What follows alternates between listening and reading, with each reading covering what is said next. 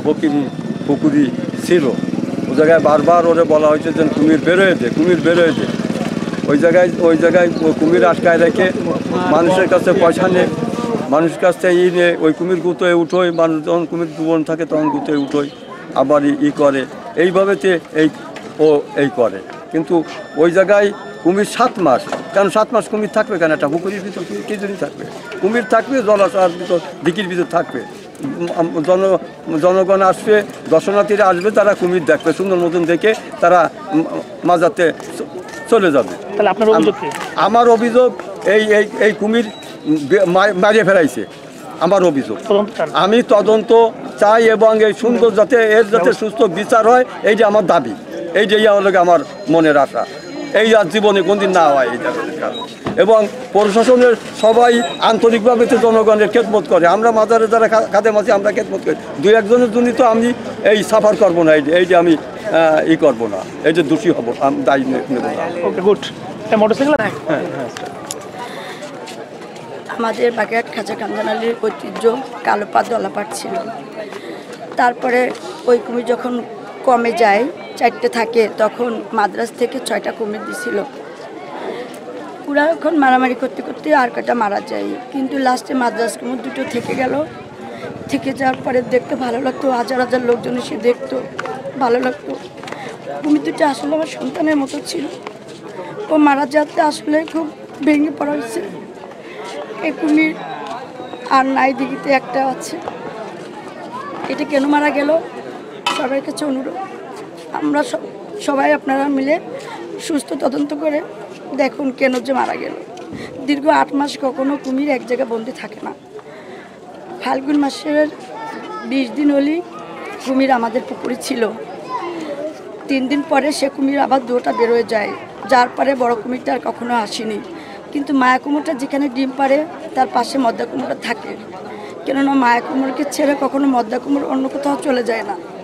কিন্তু ওই দিনই চলে গেছে ফাল্গুন বিশে ফাল্গুনই চলে গেছে আর কখনো ফিরে আসেনি। আজকে ফিরে নিয়ে আসছে মানুষই ওরাকে বেঁধে মৃত্যু দেহটাকে। এর থেকে আর কিছু আমার খুব কষ্ট বারোটার সময় আমার ননদ এসে বলছে কি, ভাবি, একটা দুর্ঘটনা তুমি কি জানো? মানে আমার বাড়িতে আমার নাতি হয়েছে তো, আমি একুশ বাইশ দিন এখানে আসি না। আমার ননদ বল পর আমি আসছি এখানে। আমি বারোটার দিক দেখেছি। যেটা সত্য কথা। তো এই কুমিরটা কি আপনাদের ঘাটে থাকতো? হ্যাঁ আমাদের ঘাটে থাকতো খাওয়া দাওয়া করতো আবার চলে যেত। দিঘির কুমির খাবারের জন্য আসতো ক্ষুধার্ত ওই আমাদের খাদেম সাহেব উনি মুস্তফা খৈর উনি যত্ন করতো এই জন্য খাবারের জন্য আসতো আবার ঘুরে চলে যেত। এখন কীভাবে মানে কেন মারা গেল এটা আমি বলতে পারব না। একটা পশু কীভাবে মারা গেছে এটা আমি কি করে বলব? আচ্ছা আচ্ছা। কিছু অসঙ্গতি দেখা যেত যে পুকুরের ভিতরে দিঘির ভিতরে ঘুর- ঘোরাঘুরি করতো। যেখানে আমরা ভাবছিলাম স্নায়ুতন্ত্র বা ব্রেনের কোনো সমস্যা আছে সেইভাবে আমরা চিকিৎসা দিয়েছিলাম। এবং সেই অনুযায়ী চিকিৎসাটা রেসপন্স এবং সুস্থ হয়ে গেছিল তো বিগত তিন বছরের মতো কুমিরটা আর সে ধরনের সিমটম আসে নাই। তো আমার মনে হয় সে ধরনের কোনো সিমটম হয়তো আসলেও যেহেতু মানুষ অনেক সময় যেহেতু সেলা টেলা ভরা দিঘির ভিতরে কোনো একদিকে সে অসুস্থ হয়ে হয়তো পড়ে থাকতে পারে এবং সেখানে মারা যেতে পারে। এটা আমার ব্যক্তিগত ধারণা। তো পোস্টমর্টম করার পরে পোস্টমর্টম রিপোর্ট আসলে হয়তো বা পুরোপুরি বলা সম্ভব হবে যে কী কারণে মারা গেছে। আচ্ছা আরেকটা আরেকটা বিষয়টা হলো যে আসলে আমরা জানি যে এখানে অনেকটা অভিযোগ করেছে। আসলে কুমিরটি কি আসলে সেটা ওষুধ কোনো খাওয়ানো একটা প্রক্রিয়া আছে এখানে অনেকেই বলছেন। এটা কি খাওয়ানো সম্ভব কিনা? এবং আপনার অবজারভেশনে আপনি কি মনে করেন?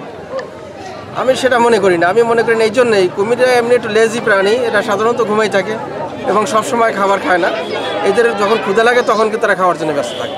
এবং অন্য সময় কিন্তু তারা ঘুমাই থাকে পানির ভিতরে থাকে বা যখন শীতকালে এরা পানির উপরে পছন্দ করে যেহেতু সরীসৃপ প্রাণীরা টেম্পারেচার অ্যাডজাস্ট করা তাদের পক্ষে একটু কঠিন থাকে। এই জন্য শীতকালে উপরে গরমকালে পানিতে ভাসে বেশি। এবং এখানে যেহেতু মাজারের কুমির, এটা আমি মনে করি এটা আমার ব্যক্তিগত অভিমত যেটা সবাই তাকে সম্মান করে এবং প্রচুর খাবার খায়। অনেকে মুরগি নিয়ে আসে, অনেকে খাবার নিয়ে আসে তাকে খাবার দেওয়ার জন্য। এবং আমি মাঝে মধ্যে দেখি, যেখানে তো তারা খাবার দেয় এবং খাইতে চায় না, তারপর অনেকে খাবার দেয়। সেখানে চেতনার নাশকের কিন্তু প্রয়োজন হয় না।